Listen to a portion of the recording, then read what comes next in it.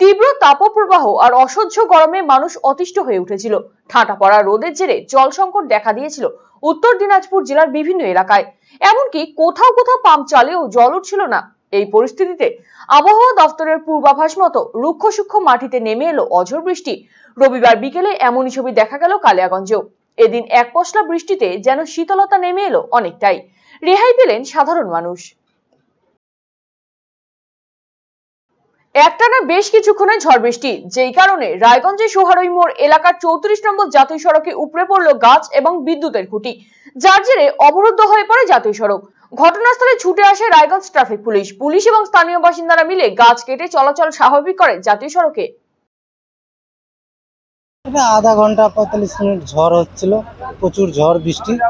ঝড়ে যে লাইনের তার মার, গাছ গাছলি সব ভেঙে গেছে। আমরা সব এই ট্রাফিক পুলিশ আমরা সব গাছ গাছলি কাইটে মাইটে সরাইলাম মোটামুটি চালু হয়েছে। হ্যাঁ ওইদিকে ট্রান্সফরমার পড়ে গেছে তার মার অনেক ছিঁড়ে গেছে হ্যাঁ বন্ধ হয়েছিল।